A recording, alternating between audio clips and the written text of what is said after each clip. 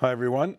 Uh, I'm Noubar Afeyan, founder, CEO of uh, Flagship, and I'm joined today by Marc Casper, CEO of Thermo Fisher Scientific, uh, and a recently announced partner with us at Flagship. So I'm very excited to have the opportunity to have this dialogue with Marc. We've known each other for quite a long time, and this is part of a new series of broadcasts we've been doing last year and this year out of JPM called Future Casts. So welcome, Marc, to, to, to this session. Um, we're just going to have a dialogue about a range of issues having to do with the moment in time, mm. this industry, and how a lot of the kind of interactions between companies may be generating value. So that's the general outline. But I thought before starting, um, I'd love to get your uh, current 2024 description of Thermo. Sure. Uh, having interacted with Thermo for so many years, you know, it's gone through a lot of pretty exciting evolution. Last year, I had a chance to have a similar discussion with Alex Gorsky, mm -hmm. and I'd say Alex, having been at the helm of J&J at the time, was overseeing a similar company mm -hmm. to Thermo in that it's a lot of things, and most people think they understand it from the angle they look at it, mm -hmm. but in fact it's so much more. So maybe we start with that. Yeah, so Noubar, thanks for having me. It's great to uh, uh, see you and have the opportunity to have a dialogue. So Thermo Fisher Scientific today, right, We've been the world leader in serving science for a long time. Um, what's important about the company is our focus on our customer success, right? It's a, a business that we're not in the we're not in the news a lot, which is which is fine by us, but rather what our customers do make a huge difference in enabling the world to be a healthier, cleaner, and safer place. And and here at the J.P. Morgan conference, you know, where the focus is really around the pharmaceutical biotech um, industry, you know, if you think about what we are for that industry, you know, we equip the laboratories at the very beginning of the research process through our bioscience reagents or analytical instruments. Our Fisher Scientific will replenish those labs, set them up, and keep them running. We then help with our PPD clinical research capabilities and designing the clinical trial for um, an upcoming, you know, exciting new medicine our Patheon um, contract development and manufacturing capabilities will develop that medicine all the way through the commercial scale up of that medicine. Um, we will, in our specialty diagnostics business, might have the companion diagnostic to guide therapy. Um, and it's really just an unbelievable suite of capabilities that we've built um, over the years. Um, we have industry leadership in the various segments that we participate, and that the company together adds unique value um, to the different parts to help enable our customer success. So it's a it's a great description. I, I was just harkening back in the early '80s when I was doing my graduate work, and that led, as you know, but mm -hmm. many most people don't know, to starting a company in the instrumentation space. Yes. very early days. I was struck by the description of all of this activity, and I wonder if you would agree with it that that what you're doing is providing the enabling technologies mm -hmm. that drives everything. Yes. And and as the field progresses, the enablement feeds off of the progress, but also enables that progress. So mm -hmm. it's mm-hmm. like a virtuous cycle. Yeah. But that breadth of activity, how as leader do you think about that? How does that all come together? Sure. Are these individual efforts or is there a common bond between them? Yeah, so I think the unique aspect of Thermo Fisher Scientific was when we created the company um, two decades ago, we had a very clear strategy that we were going to be a multi-line company. Okay, so many there are many multi-line companies, mm -hmm. but we had a very clear view that each of the businesses had to be the best at what it does um, and compete with the choice that a customer has, meaning my mass spectrometer has got to be equal to or better than yours so that customers were not sacrificing to work with us. And the businesses had to add value to one another. Mm -hmm. And creating a company that had both the horizontal connections and the discipline of keeping independence where you need is what has been the journey, right? We've been able to increase our expanded served market, but more importantly, the impact we have on our customers by consistently adding capabilities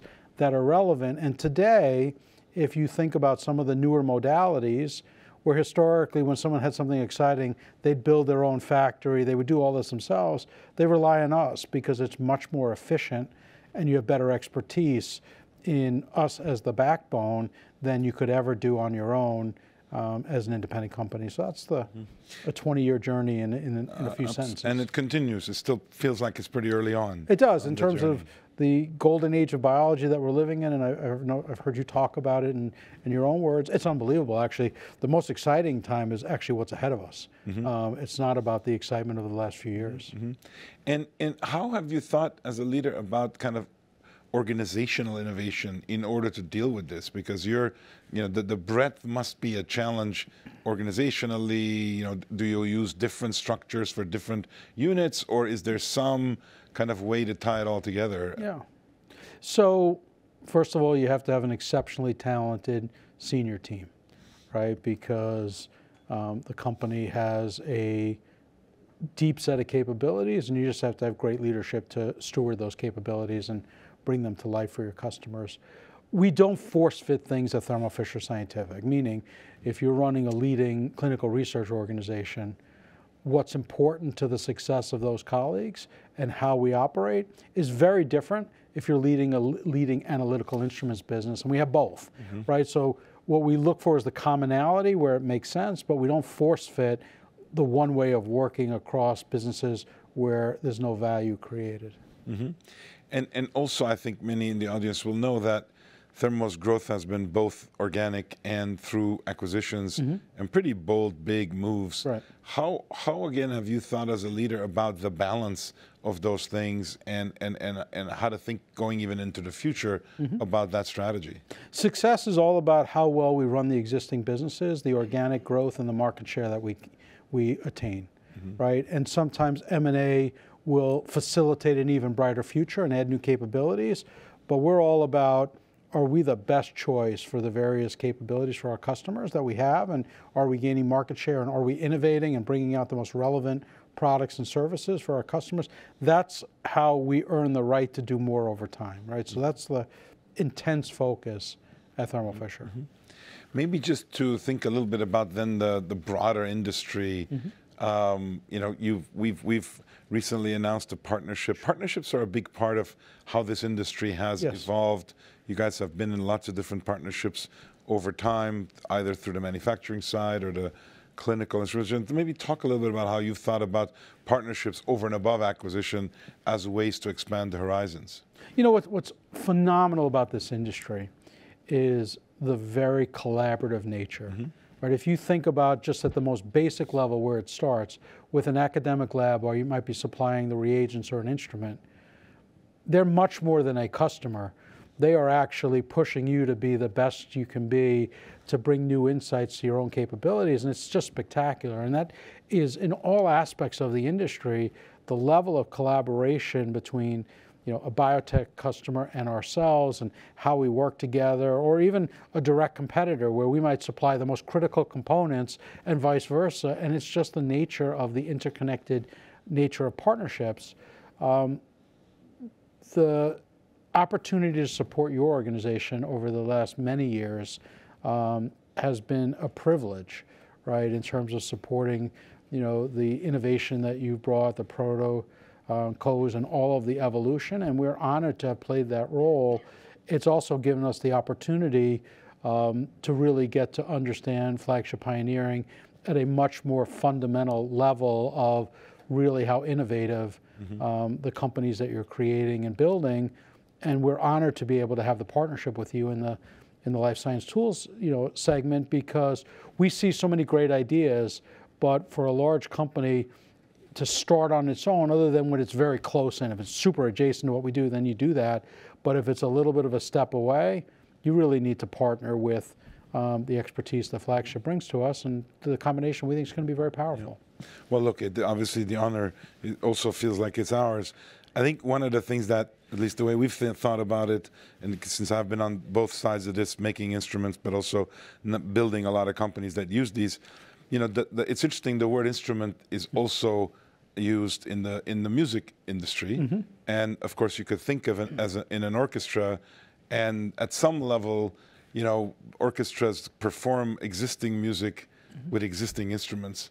But in science, the instruments keep changing. Right. And so the interesting thing for from an orchestra standpoint becomes what other music could be composed mm -hmm. and invented if the instruments keep changing, and then what's the next instrument on the horizon? It's mm -hmm. that dynamic that in, you know is is a very uh, unusual thing, and you guys are in a way creating new versions of both precedented and unprecedented instruments. So that that that interdependence mm -hmm. in terms of the future of the science is really part of the reason that drew us to saying, well, we can't just be users, mm -hmm. power users, early users, lots right. of, but rather could we anticipate together and create a new generation sure. of these things? Yeah, and I think that's super exciting, right? Because I think where we've been able to, as a company, unlock the breakthroughs has historically by challenging ourselves on how our understanding of technology could really make a difference, right? And if you think about a mass spectrometer that you might have worked on in the early 2000s or I was working with,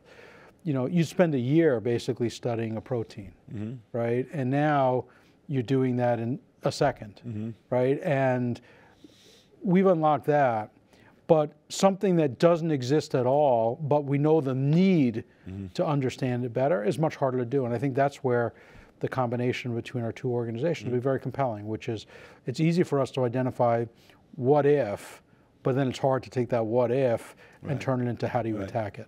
The way I look at it and listening to you is that part of your organization is trying to create trust in the present. Mm -hmm. that is the clinical, the manufacturing.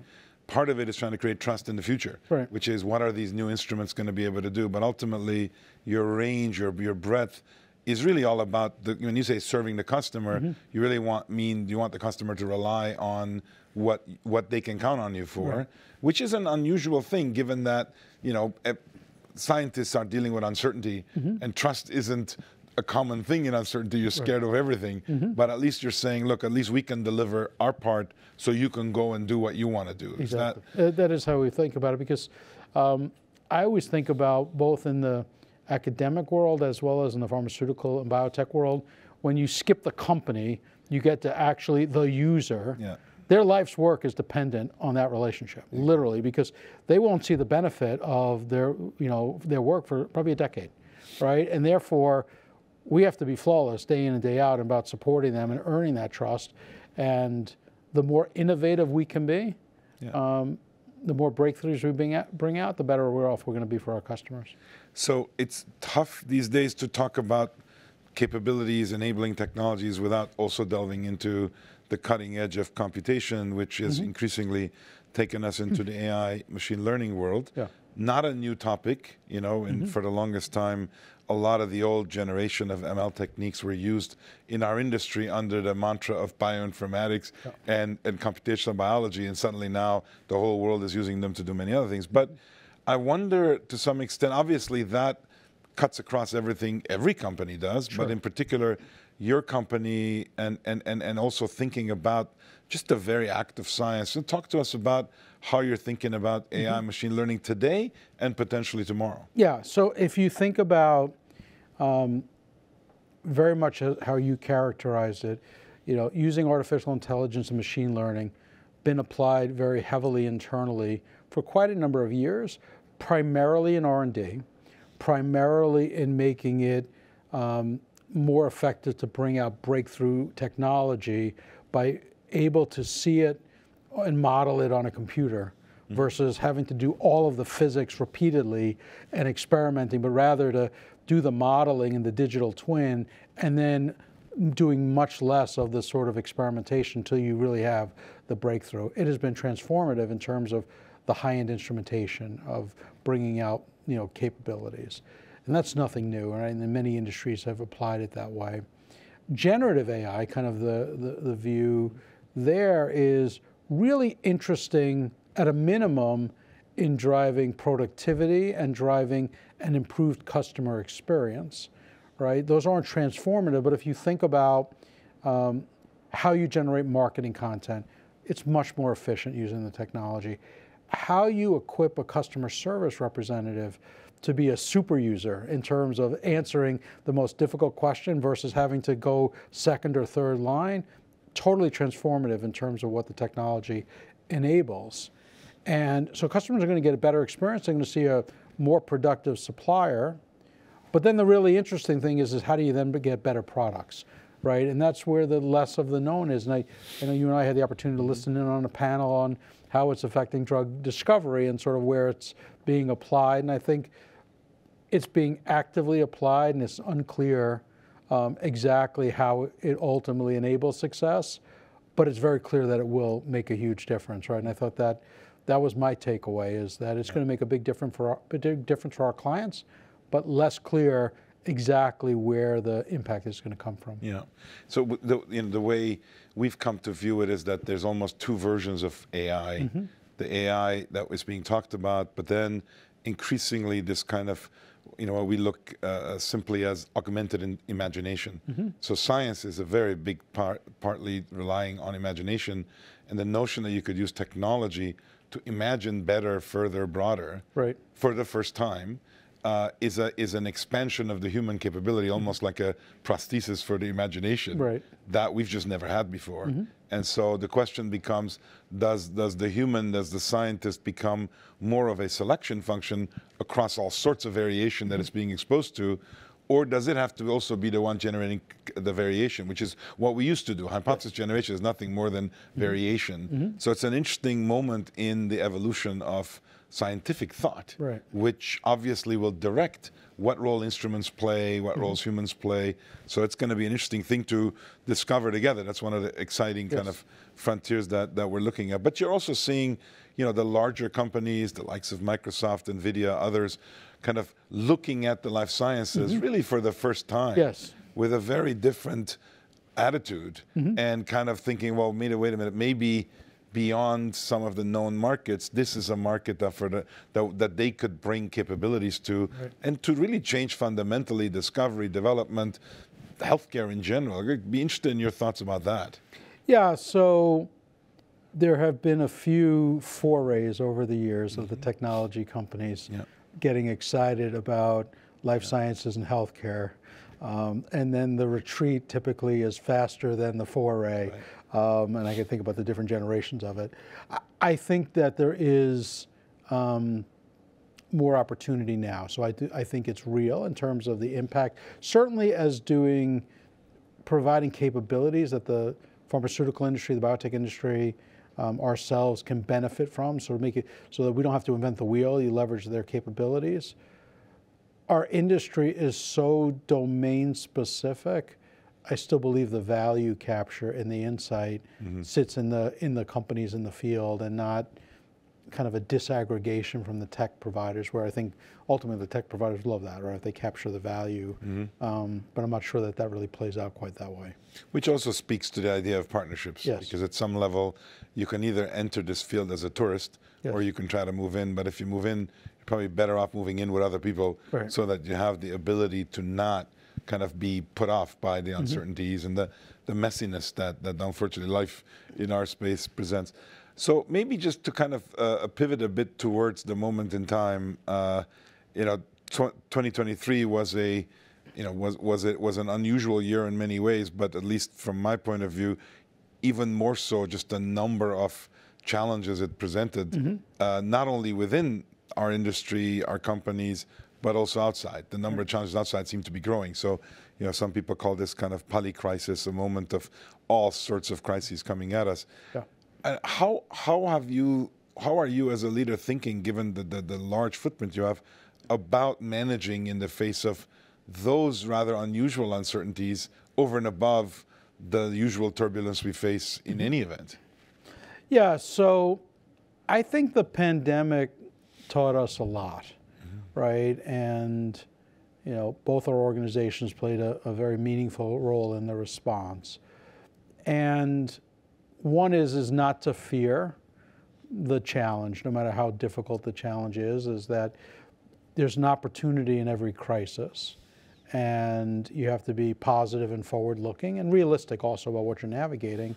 And to set very high expectations of what you can accomplish, no matter what the degree of difficulty is. And I think that served Thermo Fisher well um, during the pandemic. When I think about the environment today, it's a totally different environment, right? Where the geopolitics and fundamental economics are, have a much bigger impact on our industry than the normal that it has, right? Meaning that, of course, the industry is tied to how good is GDP growth and you know how stable is the world, but the confluence of higher interest rates, somewhat persistent inflation, and a very challenging geopolitical environment has made it very challenging for the industry to navigate that easily. From my lens, those periods are the time that you win, mm-hmm. right? It may not show up in short term results, but you have the ability to differentiate your competitive position in the periods of challenge. You benefit in the, in the good times coming out of that. So that's how we lead Thermo Fisher through this environment. And we don't get scared off by the challenge. We just kind of tackle them head on and know that we're not going to have perfect visibility to how the world ultimately yeah. plays out. And of course, you know, that's an interesting discussion we always have because for what we do, we've grown to a scale that is unusual.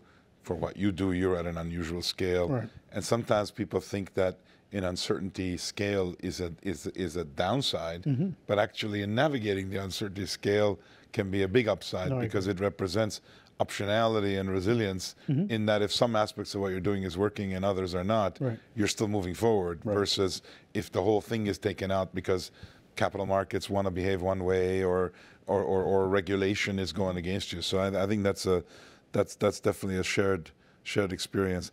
Uh, and I like what you said about uncertainty. I mean, right. do you accelerate in uncertainty or decelerate? The the issue is in a financial market that expects predictable predictable profitable growth. Sure they, they almost want you to be cautious right. in uncertainty. And then uncertainty, as you said very accurately, presents sometimes generational opportunity mm-hmm. that you, you have to wait a long time to see again. Yeah. We saw that with the internet, e commerce, we sure. saw that in lots of places. Yeah. Um, our general approach is our company is over 100 years old, right? And as stewards of the company, we want to set up the next 50 or 100 years to be amazing. And therefore, when the world gets very short term oriented, those are your long term opportunities. That doesn't mean that we don't hold ourselves accountable to delivering good short term performance, but but if I think about the very bold moves, they've always were in periods when things was messy, right? It's much easier because you can have two parties if it's an acquisition where you have look at the same data and conclude very different about what the world's going to be, right? If I think about our acquisition of Life Technologies, right? We bought it in the midst of sequestration and very tough, you know, academic funding environment. We bought an amazing business, right? At a period when, you know, it was very out of favor. And the feedback from the investment community was, wow, you guys are really dumb right? And that's okay. I, you know, I wake up, my wife tells me that anyway. So, uh, you know, but um, but the, the, truth is, is that we had a high return expectation, but we weren't worried about the precision of do we get it right in 2013 or is it 2015? It didn't matter, mm-hmm. right? You have that benefit, and and and I think about how you have the long-term view of you know building your companies and making mm-hmm. progress. I actually think when the world is more challenging, it's actually easier right, to just yeah. stay the course. So that's how we've always thought about it. So the takeaway on that one is long-term smart often manifests in short-term dumb. Yeah. In the it, sense that if it's unpopular doing, for sure. Yeah, yeah, exactly. Yeah. And if you spend all your time explaining why it's short-term smart, yeah. you probably would do long-term dumb things. Yeah, that's, right? so that's the, reasonable, that, a reasonable conclusion about yeah. so maybe just to as, as we kind of wrap up, let's the, the area we didn't cover is the broader uh, kind of global aspect of the business. You're a we have far reach globally. The world is changing in many ways, different geographies. But just talk a little bit about how you see the industry, the opportunity geographically, kind of if you if you encompass the world, innovation in different pockets, and how to think about that versus kind of the, the US centric version of biotech, which often gets played out in, in our industry uh, mm-hmm. uh, kind of gatherings. Yeah, so if you think about the innovation, it is truly a global game, right? And there's just incredible breakthroughs happening. If I think about China as an example, right? You have a, you know, a bursting of a biotech bubble that's going on right now, but at the same point, there's amazing progress being made, right? And therefore, you know, we drive some innovation out of China. We have large R&D center in Singapore, Lithuania, the Czech Republic. Phenomenal breakthroughs happening there. The UK, um, of course, the US, and many other countries. So um, innovation is happening around the world, and we try to tap into it, um, be attuned to what our customers are working on, because that is a competitive advantage of scale. As long as you have the right sensing mechanisms and evaluation mechanisms about what's happening around the world, the ability to be there on the ground and really working um, makes a huge difference. And I think that's one that creates competitive advantage for us. Yeah, no, it's our recent recent experience. This has caused us to conclude that we knew we too need to have small projections into the UK, into Singapore. Actually, mm -hmm. two of the areas where we have you have very major presence, and and our sense really rather is is that if we can connect the ecosystem that we are building into those regions mm -hmm. with many many touch points, including technology tools, right. etc that that you kind of have a two-way flow of capability building and, and that but it does present interesting challenges from a leadership governance standpoint right. in your case obviously across your many different industry lines sure. That's even more complicated mm -hmm. so just wrapping up then i guess maybe you've been at jp morgan you've had lots of meetings yeah. kind of sentiment outlook for 24 i don't mean just for thermo but yeah. your own sense of how where we are in the industry cycle. Sure. Great to hear from you on that. Yeah, and I'd love to get your view as well on that. So every year, there's always optimism in January. So I normalize for that because everyone, you know, you start the new year, everything's going to be better, and that's mm. so. So I normalize for sort of that. Um, in the biotech, sort of capital market dependent biotech sector, I come away more bullish than I was last year. You know, our customers are saying they have better access to capital, that it's getting, it looks better, right? You know, in ter terms of the dialogue and where they are. The M&A that's gone on, very active period for pharma in December and January, mm. that certainly will spur investments um, because there's exit opportunities for companies. So I actually think um, I come away from the JP Morgan conference with the customer base quite excited for what 2024 should progress into as the year year unfolds. So I think that was very encouraging. I think investors were shaken, and I don't mean specifically about Thermo Fisher, but this literally is an industry in terms of life science tools, diagnostics, and pharma services that you don't have to think a lot about, right? It grows well and companies are relatively well run, et cetera. And it was a challenging year for the industry. So I think you know, investors are looking for those green shoots to, to be confident that the future is bright. Mm -hmm, mm -hmm.